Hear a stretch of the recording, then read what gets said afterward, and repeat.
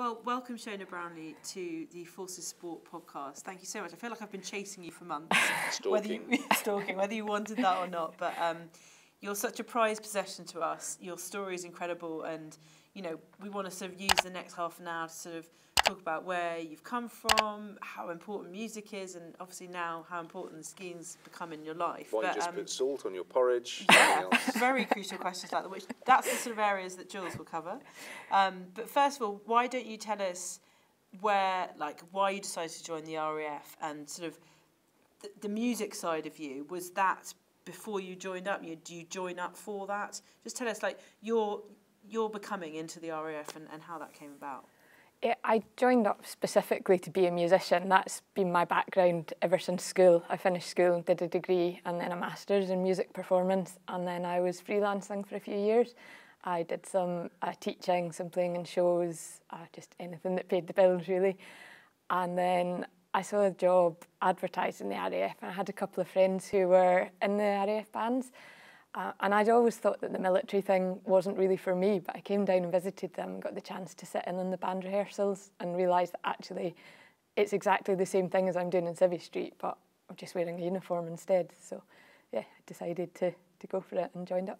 And it's the French horn that you play. Um, was um, was again was that why did you pick the French horn?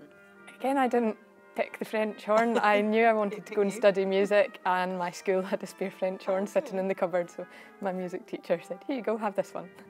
Because it's not the easiest one to play, is it? In terms of brass instruments, it's it's got a lot of solos and stuff like. So there's a lot. It's quite complicated. Uh, it depends. There can be a lot of solos, but we play in a section of normally four or five. Um, and some people like doing the solo parts. I don't like doing the solo parts quite so much. I'm quite happy to sit further down the section, but yeah, I really like it. I'm glad that it's my instrument. All this became before you'd even discovered sport, which we shall get onto in a little while. But I'm guessing that you were putting in the same amount of preparation and rehearsal with your music as somebody would on, with an athletics or sporting background. Yeah, it's it's very similar, I think, in terms of time commitments. I mean, your evenings and weekends are taken up with your own personal practice as well as orchestra rehearsals, then concerts, and yeah, there's there's a lot of time involved. Or was- well, and of course, when you did eventually join the RAF, that is when things really turned a corner for you in in some unusual ways. yeah, it was it was a little bit unexpected joining up specifically expecting to be a musician, and then I actually got I got injured during basic training, so I didn't even manage to finish phase one training before before my injury happened. Um, And just tell us a little bit more about the injury, how how you know as much as you're comfortable about talking how it happened, um, and you know how we've got to where we are today. Uh, we were out on our final exercise. I was right at the end of training, uh, and it was a fairly innocuous accident. I slid off a ledge, um, and at the time we just thought, oh, it's a sprained ankle. You know, have a little bit of physio on it. It'll it'll get better. Um, and then unfortunately, just developed some complications. Didn't really heal the way I hoped it would, or it was expected to. And then spent the next few years having various rounds of surgery. Um, I was very fortunate in the military. I had access to the rehabilitation facilities at Headley Court, uh, so it was top-notch rehab. Um, but yeah, unfortunately, things just didn't work the And way I was hoping. Did you have to make the decision to have it amputated? Was that because I, I'm wondering um, in Civvy Street whether that's a, different decision, but, but because you've got the backing of the military and then it's more familiar to them possibly that people have amputations, or the rest of it. But in the end, was that a decision you had to make?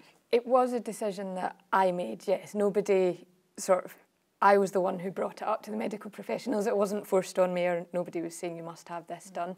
But I'd spent six years hopping about on crutches. My leg was effectively useless. I couldn't walk on it, we couldn't weight bear. Um, and I was told we're at the end of the treatment route. There's no more surgery we can do to fix it. Rehab obviously hasn't had the effect we wanted. And at that stage, I decided that actually I would probably be better off without it. And you said, as you said, it's a fairly innocuous kind of injury initially. Just does it still blow your mind a little bit that it's come it's come to this? Not that you know life's bad because of it, but just because you know it's it's life changing. Yeah, I mean, it's also almost the opposite. You say not that life's bad because of it, and it's not at all. And actually, it's opened up a whole new. I'd never have got involved in any of the sport or half the things that I've done if it hadn't been for the injury. So I can't say it's a bad thing.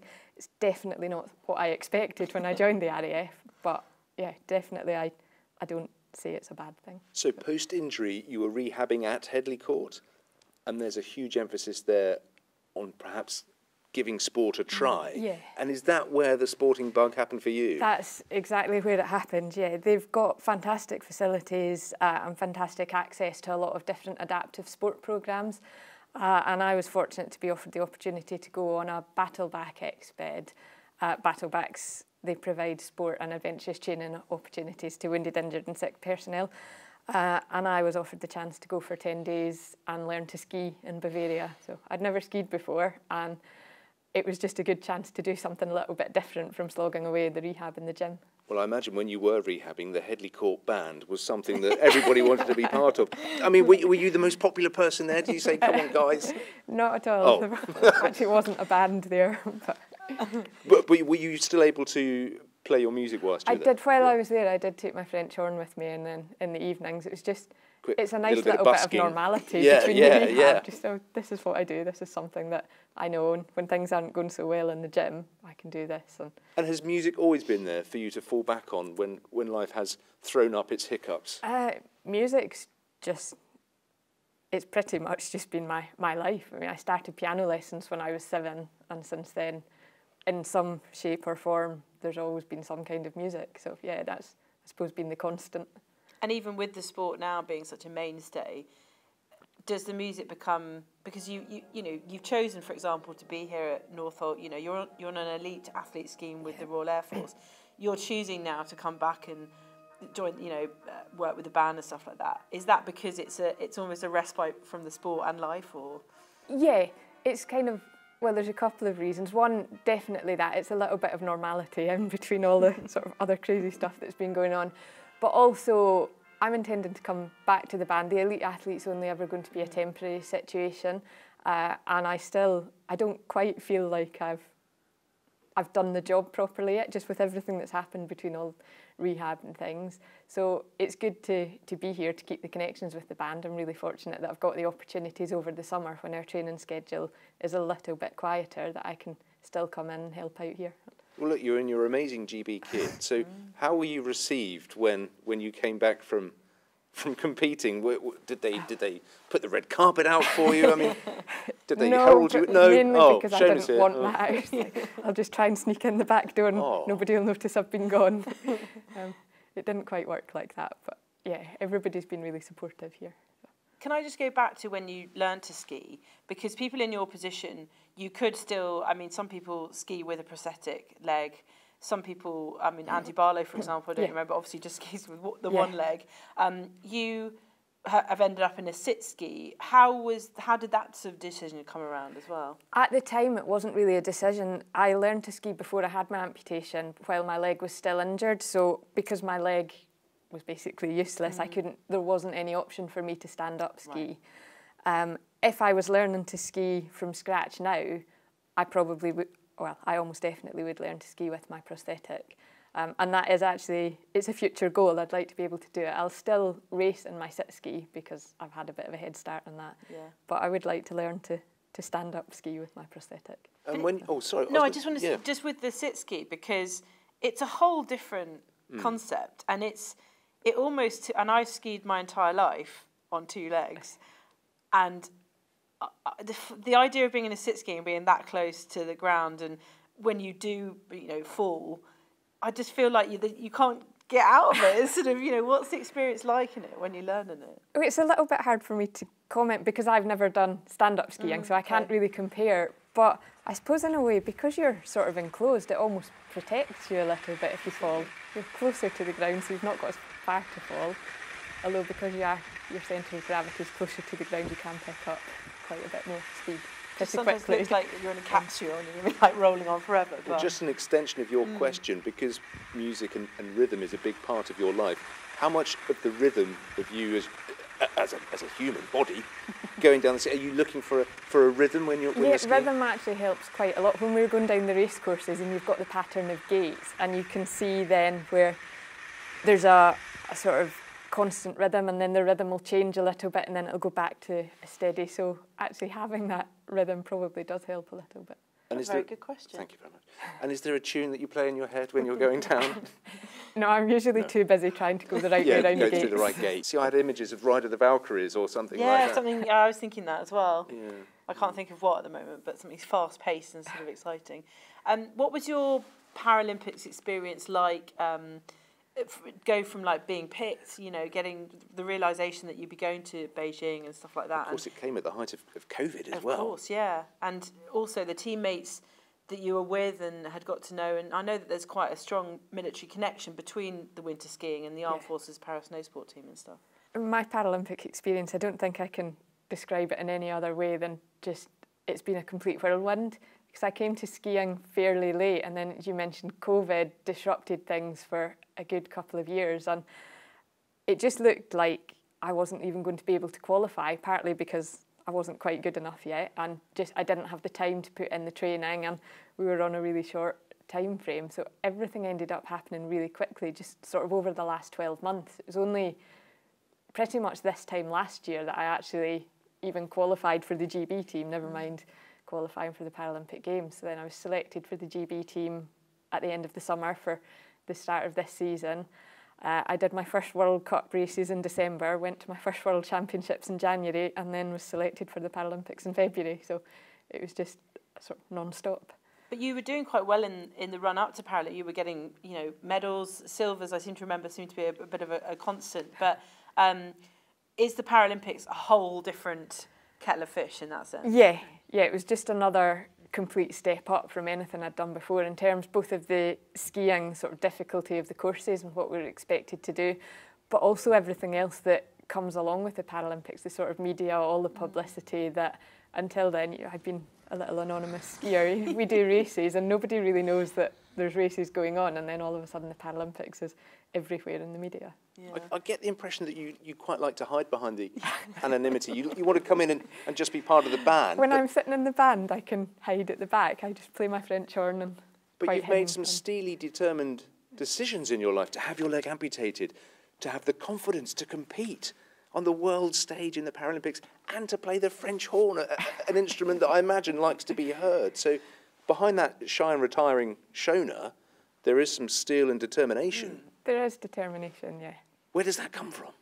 Scottish. Scottish. Ah, Possibly, yeah. I'm yeah, not sure. It's just it's just always been there. yeah, When, yeah. In, inherent. Yeah, it's just there. Something I want to do, I'll. And do you surprise your, your friends and your relatives with, with what you've accomplished and what you continue Yeah. to accomplish? Yeah, Yeah. yeah, you do surprise them. Yeah, um, my parents, I think, well, they just despair sometimes. Think, oh, Shona's just off doing something else crazy now. so, And home is obviously Scotland. Um, you you are away from being an elite athlete. You are based here at RAF Northolt. Um, but home is Scotland. Um, wearing a GB shirt, do you feel? I always ask this because, do you feel that the you know your Scottishness is sort of represented? You're very proud Scotswoman, you know, but being in that in that GB vest. yeah, I think I think they both go together. I mean, obviously, I'm proud to be Scottish, but I'm also very proud to be wearing the GB colours and to go out there and represent GB at the Paralympics. You're on the start line at the Paralympics or you're in a, a huge concert. What are the feelings and emotions going through you? Because I suppose one, it's very much you on your own. The other, well, if, if, if you mess up, you can blame it on the guy playing the bassoon. Sorry, Neil. that doesn't always work, unfortunately. But actually, the feelings are very similar. Um, it's they're both performance aspects in different ways, but the sort of performance pressure and nerves you get are very similar. So I would say that sitting on the start line at the Paralympics or a big competition is very similar to the nerves or the, the feelings you get before a big performance. And of course, with a performance, you're there to entertain, whereas with skiing, it's very much get the job done. But do you try and put a little bit of flair in your skiing as well? Again, no, I'm No. too busy trying to go the right way to the around the gates. But again, it Yeah. probably is entertaining on the occasions when things don't go quite right. And you end up having a few somersaults. Have you had a few wipeouts over the years? Yeah. Talk us through. Talk us through a you tum- Talk us through a tumble. Uh, it's just part and parcel of the sport, really, and just you get to the stage where you know you're going over. You think, "Yep, there's no coming back from this," and at that point, I suppose you just go into preservation mode and think, "How's this going to hurt the least?" the breathing and the core strength that you have for your skiing, does that help with your music and vice versa? Uh, I think the breathing that I've had through music definitely helps in the skiing. Again, particularly in the sort of pre-race calming the nerves thing, yeah. can do a lot of the, the same breathing exercises that I would do in music. And again, is there a piece of music that you would listen to to calm yourself pre-race or psych yourself up? Not, not really to calm myself down. That's more just the sort of breathing and quietness. Uh, it's become a bit of a joke within our team that um, my theme tune is sort of the Top Gun theme tune oh. now. Um, you feel the need for speed? yeah. Partly because of the quote, and partly because one of my coaches thought it was quite funny, just with the Air Force connection, and then it's it's just stuck. So. Well, there, there is a, there is a hint of Maverick about you, yeah. That steely determination. Steely Maverick, yeah. quiet Maverick, but yeah, yeah, yeah. Goodness, do you see another Paralympics in your future? Is that the aim at the moment to, to keep skiing for GB and, and see what you can achieve in the next few years? I haven't ruled it out. Um, there's a lot of variables. Obviously, it depends what happens with, with the work. Um, I'm very fortunate that I've had the support of the RAF um, and hopefully that'll continue. Um, I'll also have to meet performance targets. You know, my space on the GB team isn't assured. I have to keep performing and keep achieving those targets to be reselected. Um, but I would like to see what happens over the next four years.